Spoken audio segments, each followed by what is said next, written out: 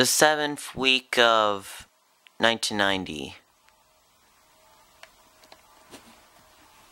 I think, because the movie is from 1987, so I'm just going to make it as a guess. I mean, I think it is, really.